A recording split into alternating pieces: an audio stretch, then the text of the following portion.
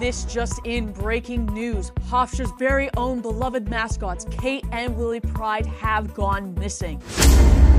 Famed pair of lions did not appear during Welcome Week or the first day of classes. Many are concerned about their whereabouts and claim they haven't been seen in weeks, perhaps even longer. Hofstra's Public Safety has launched an investigation into Kate and Willie's sudden disappearance. The investigation has led to the discovery of paw prints, which are believed to be related to the disappearances. If you or someone you know has seen Kate and Willie, please share any clues or evidence to assist in the search. From Hofstra University, I'm Margaret Sykes.